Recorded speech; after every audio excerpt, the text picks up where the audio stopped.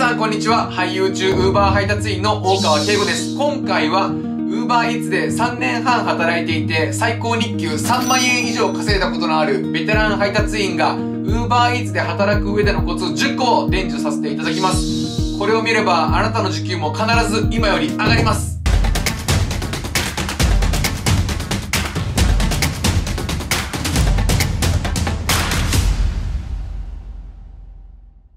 それでは UberEats のコツを伝授させていただきます。当たり前のものから初めて聞くものもあるのでしっかり最後まで見てください。まず1個目はバイクと自転車どっちが稼げるのか。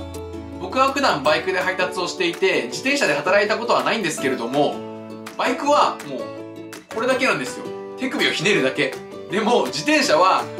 う一生懸命こがなきゃいけないじゃないですか。坂道とか夏の暑い日とか冬の寒い日でもなので体力的に絶対バイクの方が長く働けるんですね。なのでバイクの方が全然稼げると思います。でもこれから伝えることを心がけたら自転車の方でも十分稼げると思います。2個目は絶対に持っておかないといけないもの3点。1つ目はモバイルバッテリー。UberEats は常に GPS と Google マップを開いていないといけないので充電をしなかったら4時間くらいで iPhone の充電が全部なくなります。なのでモバイルバッテリーはケチらず最強なものを持っておくことをお勧めします。2つ目はモバイルスタンド。UberEats はかなり配達エリアが広く遠距離配達も多いので常にナビをしてもらえるようにモバイルスタンドを用意しておくことをお勧めします。これは事故の防止にもつながります。3つ目は空のペットボトル。UberEats のバッグはある程度の仕切りがあるんですけれども例えばドリンク1杯とかスープとか小さくてこぼれやすいものはその仕切りだけでは縦横無尽に駆け回ってしまいます。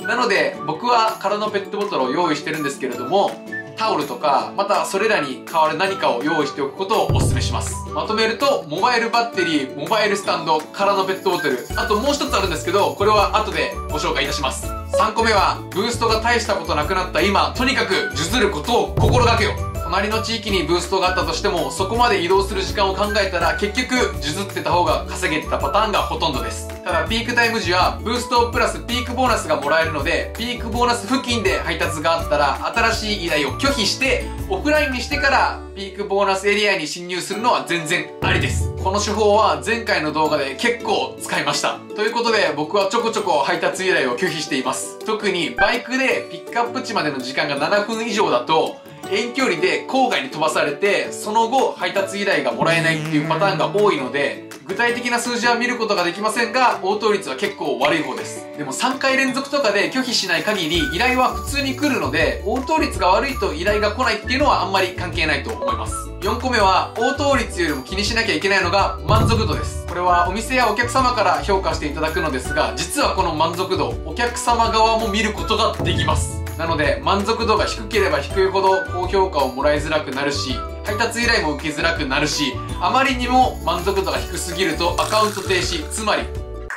クビになりますので気をつけてください。高評価をもらうためのおすすめとしては置き配達の時に商品の下にキッチンペーパーを敷いてあげるなどの気遣いをするだけで高評価がもらいやすくなるしかつチップもいただける確率が上がるのでかなりおすすめです。つまり持っておかなきゃいけないもの4つ目はキッチンペーパーです。ただ僕も常に満足度が100%であるわけではないのでたとえ低評価がついてしまったとしてもあまり落ち込みすぎないでください。5個目は高評価はバンバンつけて低評価はつけないように。UberEats は完全不合なのでピックアップ先の調理が完了していなくて待っている時間は結構痛手ですよね。ただそのお店に低評価をつけてしまうと以降そのお店から依頼が来なくなるので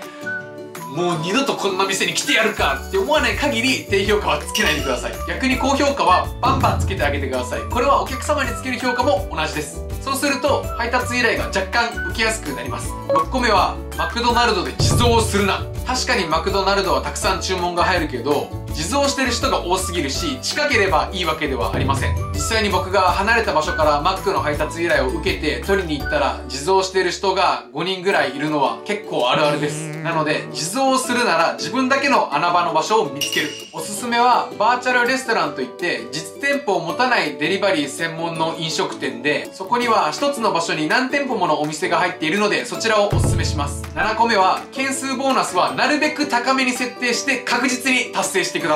もし件数ボーナスを低めに設定してそれを達成したらなんか損した気になってそこからやる気がなくなってしまいます。でも高めに設定したらそれがモチベーションになってさらに頑張れるので一石二鳥ですただどんなに頑張っても達成できないと1円もボーナスがもらえないのでそれだけは避けてください。8個目月曜と土日は働くべし。土日は当たり前ですが意外に月曜日はなりやすいしなんせブーストが他の平日と比べてダントツにいいです。週始めということでモチベーションも上がるのでおすすめです。9個目は雨の日稼働現金対応。もうこれは当たり前なんですけどやっぱり雨の日は配達員が少ないのでいつもより稼げるし現金対応にした方がなりやすいのは事実なんですけど僕は2つとも絶対にやりません。なぜなら稼げるとはいえ雨の日は危ないしびしょびしょになるのと現金対応はとにかくお釣りの用意がめんどくさいからです。僕が言ったコツを意識すればそれなりに稼げるのであんまり自分を安売りしないでください。そして10個目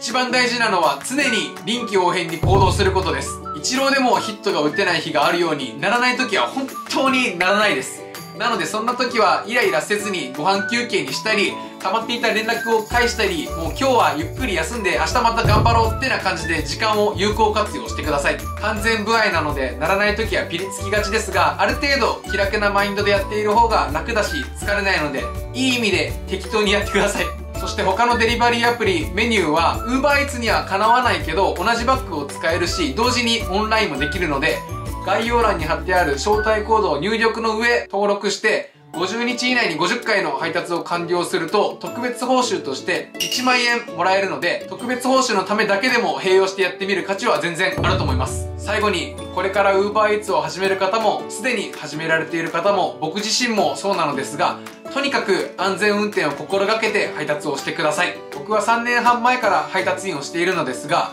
正直徐々に UberEats に対する風当たりが強くなっているのを感じております。昔に比べて車に意地悪をされることが明らかに増えましたしこの間なんて信号待ちで隣に止まっていたタクシーの窓がパーって開いて俺はお前らに3回もぶつけられてんだよって何もしてない。俺に叫ばれましたからね。俺に言うなよって思いましたが同じ看板を背負っているので連帯責任だと思います。なので一人一人が安全運転を心がけて肩身の狭い思いをしないように改善していきましょう。皆さんの時給が少しでも高くなることを祈っておりますのでぜひ今言ったコツを参考にしてみてください。そしてこれからも UberEats のことを発信していきますのでぜひチャンネル登録よろしくお願いいたします。今回も最後までご視聴していただきありがとうございました。バイバーイ。